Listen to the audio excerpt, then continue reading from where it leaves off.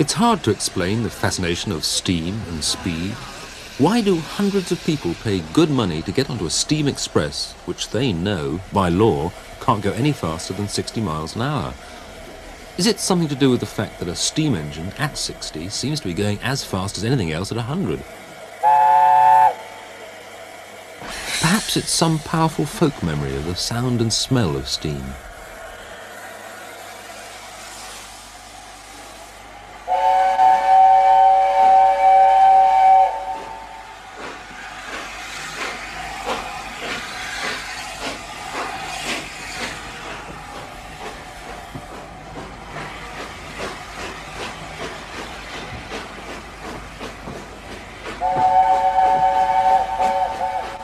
Any one of the hundreds of experts travelling this train could probably tell you, just by listening with their eyes closed, how the engine and driver are doing, and even why the wheels are slipping.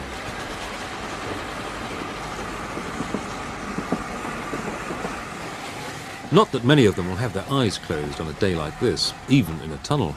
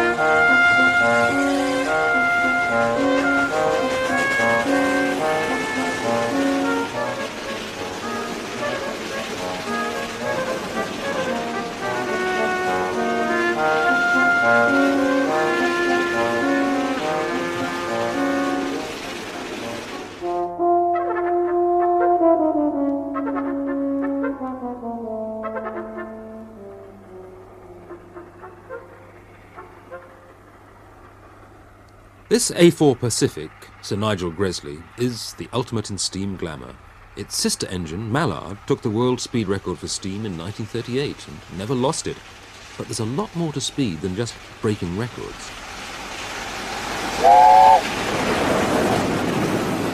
It's also big business, a case of getting a coachload of paying passengers from A to B faster than your rival company, as any engine designer would tell you, Yet even so, fast engines have always had an air of elegance and glamour.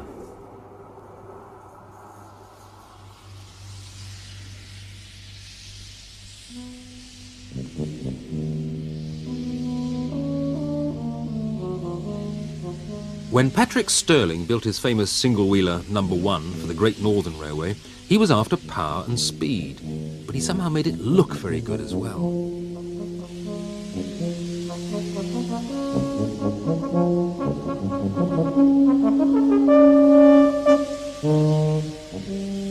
This was one of the crack express engines of the 1870s. If you'd lived between London and York a hundred years ago, this is the intercity special you'd have seen steaming past at anything up to 80 miles an hour.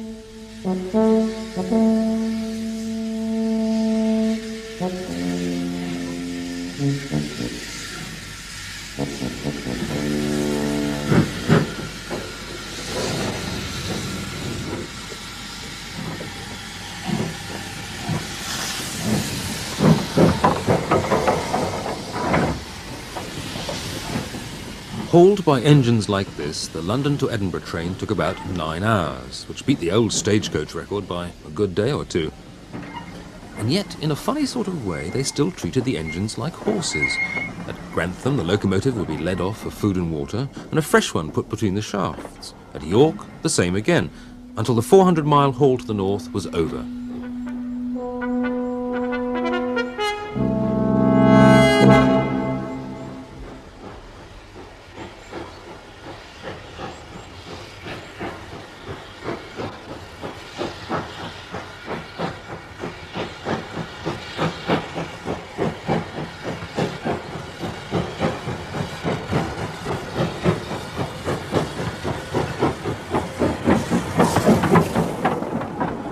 Today, number one's on a rare day out from the York Museum, but it still spins along like a well-oiled sewing machine, only slightly dwarfed by its complement of modern coaches. All these engines had their own regular firemen and drivers. Today, the tender loving care comes from driver John Bellwood of the Railway Museum. So this is this is Stirling's great wheel, the single wheel. That's Uh, it. How big is it? It looks It's eight feet diameter. Why did it have to be so big though? Well, these were an express passenger engine, and the idea was to cover as much ground as you could at as high a speed as possible. And obviously, the larger the wheel, the greater the distance you covered for each revolution. And I suppose the major disadvantage with a single wheeler was the lack of adhesion. Because it was all on this It one. was, this was the only pair of wheels that were being driven that gripped the rails, whereas if you had a, a four or six couple locomotives, you spread out that adhesion over four so, or six. so wheels. more skidding. More tendency to skid, Tendency. slip. I like the way you always say more tendency to year.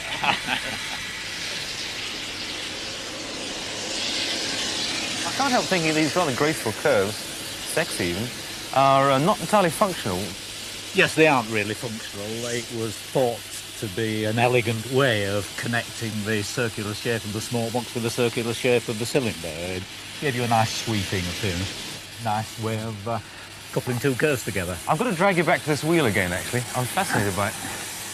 Because this is the thing to me which makes it look, I've got to say, old-fashioned.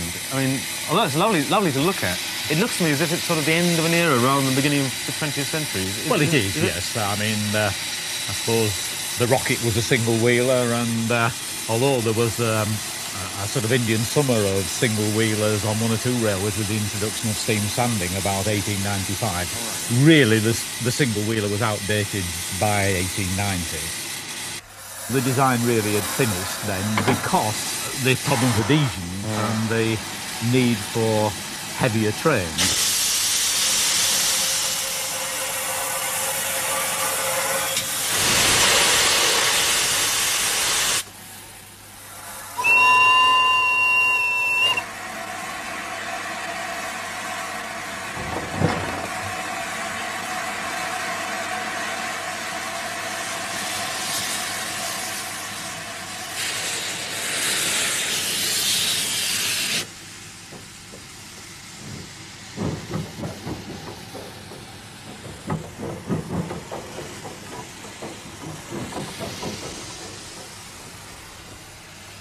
The main thing was that trains were getting heavier and the demand from the passengers for better facilities, better riding carriages, which meant heavier, uh, better facilities on train, corridors, vestibules, toilets. Previously they used to have sort of station stops for physical needs, whether it was eating or discharging sort of thing.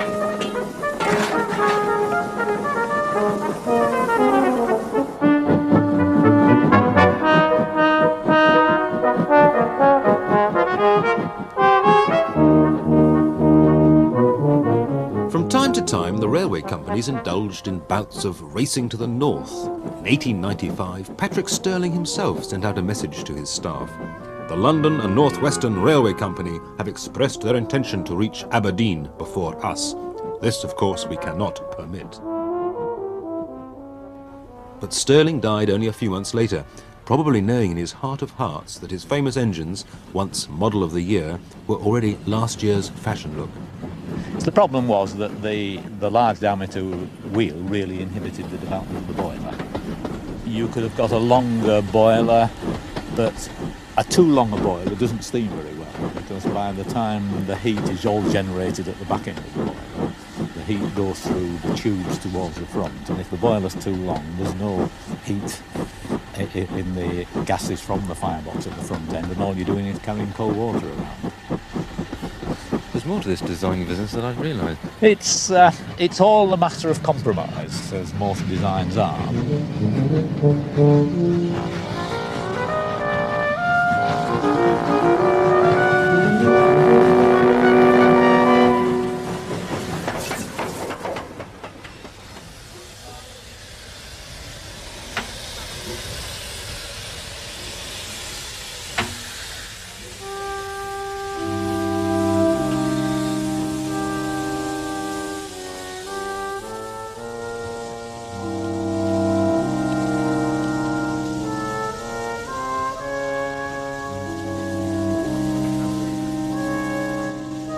The new look came from a quarter which had been out of the headlines for a while, the Great Western Railway of Brunel and broad gauge fame, with the green and gold charisma which made it the best loved company to those who loved it, and inspired more resentment among others than any railway company had a right to expect.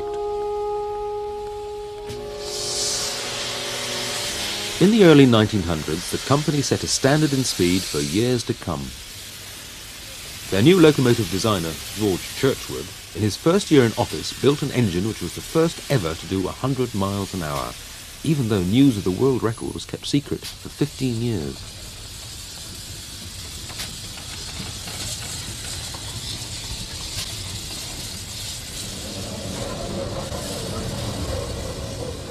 The city of Truro was a hybrid design with a much more effective new boiler set on a frame and chassis borrowed from his predecessor. Churchward had designed the revolutionary boiler while his old boss was still in office.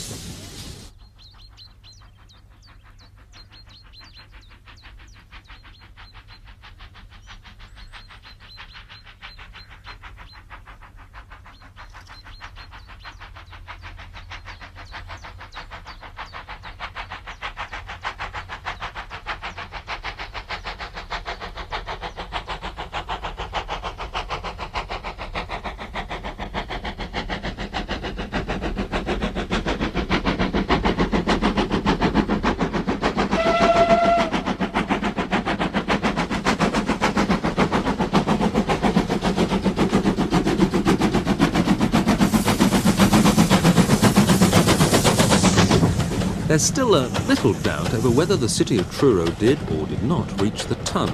Enough doubt, at any rate, to enable you to pull a GWR man's leg. I tried it on Keith Beck. Keith, I've been looking at the city of Truro and I find it hard to believe that that engine could have done much over 96 miles an hour, let alone 100. Well, I suppose it is a bit difficult to uh, comprehend because it's very small compared with more recent steam locomotives. Um, there is a dispute as to whether it did 102 point something or whether it was only 100, but I think there is agreement that it was the first thing on wheels to reach 100 miles an hour, despite the size of it. Nobody was really saying we're going to be the first people on wheels to go 100 miles an hour.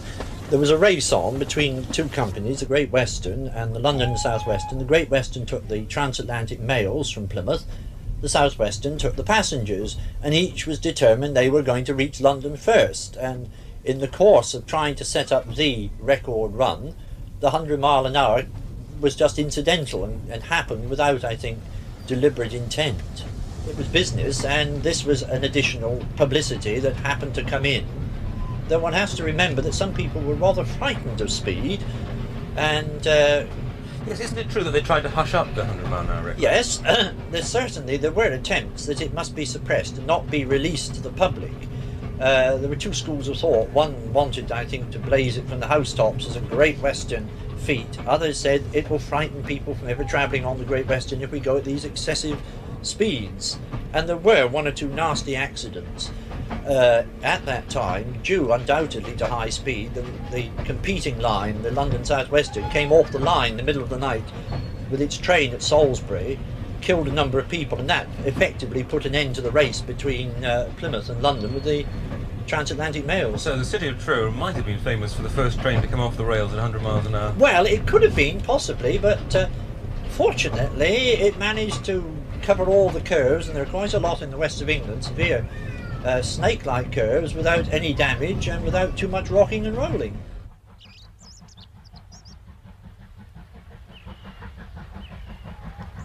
Was, was there anything special about this compared to other engines at the time? Uh, the boiler was quite unusual that most railway engineers used a boiler which was parallel throughout. On City of Truro there was a boiler which tapered from the back by the firebox down to the front where the smoke box and chimney is, which wasn't used on any other railway in this country other than the Great Western for many years. It was a Churchward um, design.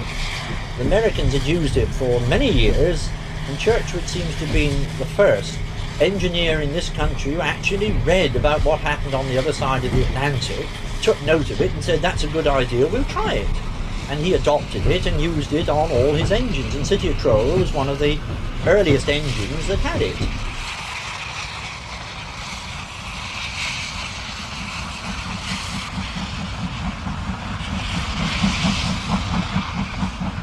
Before 1900, the speed of trains had risen from 5 miles an hour to about 100. In this century, steam engines were never to get that much faster.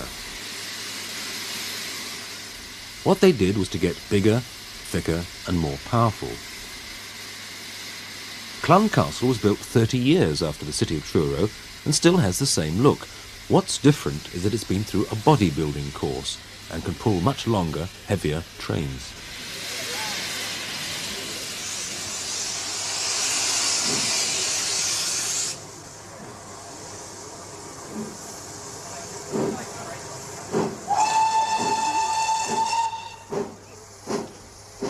This is Clun Castle pulling out of, suitably enough, the city of Truro. But it was from Cheltenham that for a long while the Great Western had the world's fastest scheduled service, Cheltenham Flyer. Over the home stretch from Swindon to Paddington, the start to stop average was 71 miles an hour. According to the book, on a good day the train would touch about 90. Quite why so many people wanted to fly out of Cheltenham as fast as that was never really properly explained. But the publicity was well worth it to the GWR, and they flew a camera up specially to record it.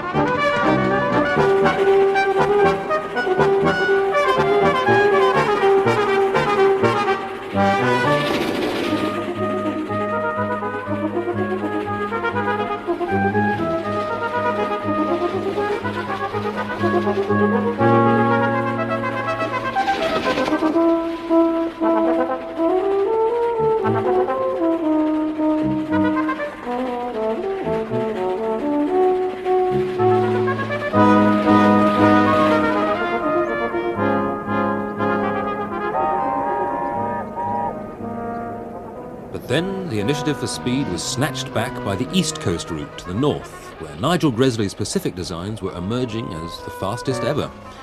It was hard to prove this in the 1920s when running times to Edinburgh had not changed for 40 years, but in the 1930s the race to the north was on again. The LMS held the top speed record of 114 miles an hour in early 1938, but this was broken that year by the most famous of all A4s, Mallard.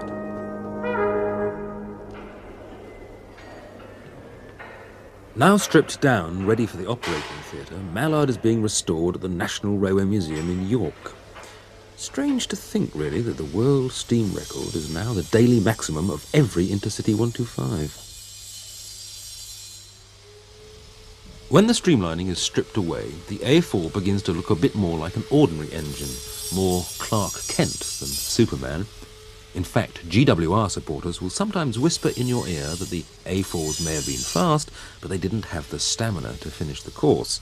And wasn't there some design weakness as well, an Achilles heel ready to let down the fastest runner? So th- this is the big end, the infamous big end. Yes, this is the middle big end on the A4, and um, this is what ran hot when the Mallard broke the record in 1938. But after that, much work Top shed man Peter Townend looked after the A4s after the Second World War and will defend them against any suggestion of misbehaviour, though he does admit there was always room for improvement.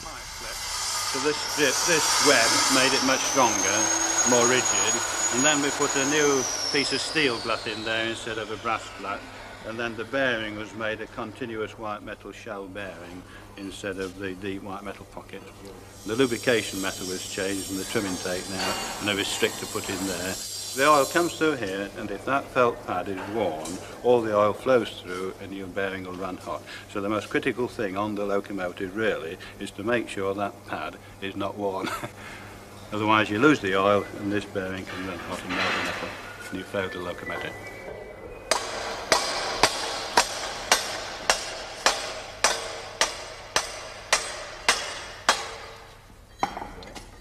These massive chunks of metal seem to take you right back to the heart of the Industrial Revolution. Nothing electronic or computerized here. Actually, Gresley was one of the few loco designers who spared a thought for the maintenance men, and very few jobs on his designs involved crawling under the engine. The A4 even incorporated a safety device which, believe it or not, depended on the efficiency of the driver's nose. When Mallard broke the record in 1938, um, the middle big end ran hot, but it had been fitted with a heat detector inside the middle big end crank. and this went off and emitted a smell which was detected in the cab and the driver and inspector failed the locomotive on this occasion at Peterborough instead of going through to London. Forward. To us. Rope steady. That's it, roll it round. All right. Keep going. That's in, is it? Back to me. Right. Mind your Back fingers. gate. Yeah. Back. Yep. I had 19 of these locomotives, A4 locomotives at King's Cross, and a total at one time of about 40 Pacifics. And these were going out on every express train from King's Cross, some going to Newcastle, York, Doncaster, and in summertime the A4 loco worked through to Edinburgh non-stop.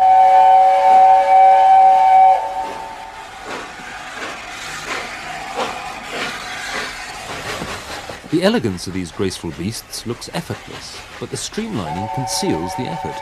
Breaking speed records going downhill is all very well, but getting a steam engine to travel fast uphill and thus maintain a good average speed was always a tough problem. Breaking 60 uphill was thought to be hard enough, but Gresley regularly got the A4s up to near 80. Nor did the extra speed lie just in the streamlining. Designers found it in what seemed to us to be minute adjustments in the boilers and valves, even in the chimney.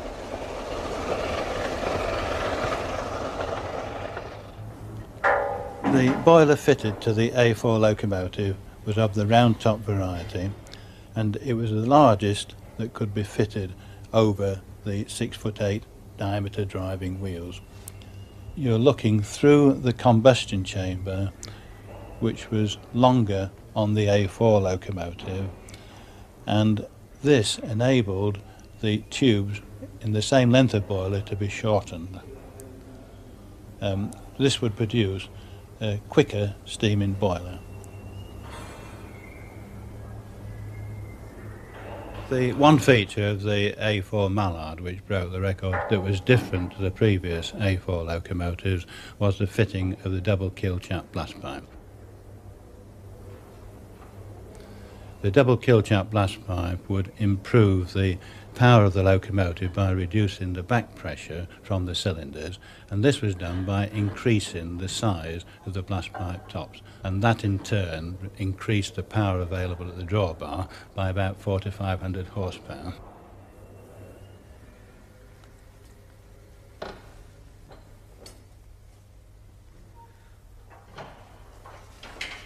The effect of the Kylälä cowls between the blast pipe and the chimney base would be to spread the pull of the fire across the tube plate and enable a much more even draft, which made the loco steam very much more freely, and you could maintain the full boiler pressure without difficulty. And this in itself would also increase the power of the locomotive.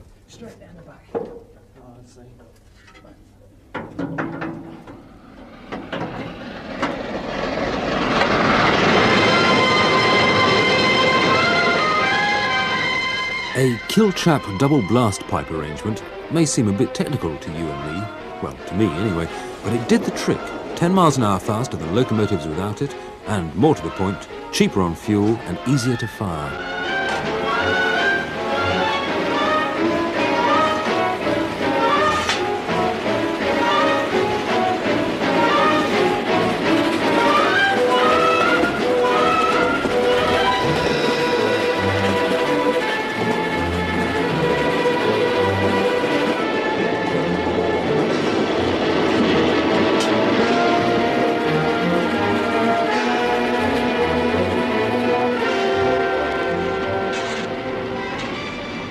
Golden age of steam really came to an end with the war, and things were never quite the same again. Some people would say that the age of steam should have ended earlier. After all, other parts of Europe had already made the commitment to diesel and electric power in the 1930s. The A4s were perhaps not so much world champions as a glorious sunset or the last of a line of kings. And yet, the extraordinary thing is that while thousands can tell you which steam engine broke the world record and when, I've yet to meet anyone who can tell me with confidence what the diesel or electric rail speed record is today.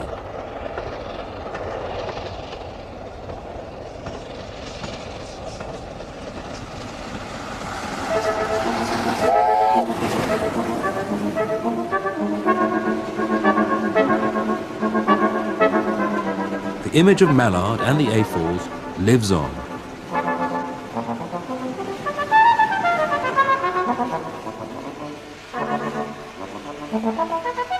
The further the age of steam and speed recedes from our anonymous age, the more potent become its sights and its sounds.